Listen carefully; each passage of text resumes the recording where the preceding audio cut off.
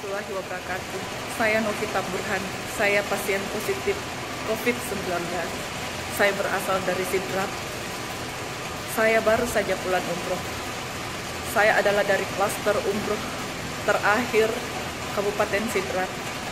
Teman-teman di Sidrap,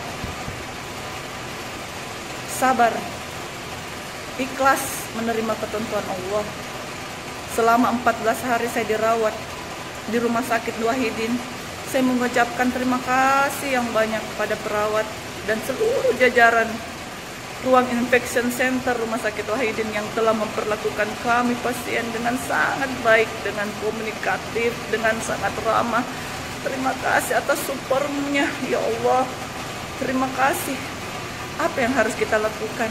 Awalnya sangat sulit menerima kenyataan, tetapi kita harus kembali bersemangat kalahkan imun dengan semangat kita. Caranya bagaimana? Sholat, minta doa pada yang maha kuasa.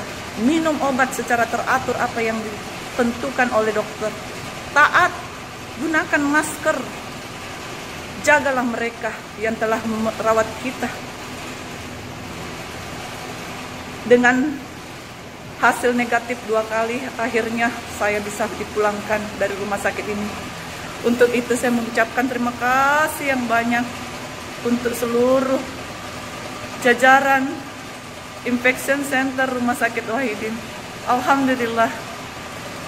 Alhamdulillah atas pertolongan kalian, perawatan kalian saya bisa pulang berkumpul kembali bersama keluarga saya. Terima kasih untuk keluarga dan teman-teman yang telah mendoakan saya. Insya Allah Allah akan membalas kebaikan kalian semua.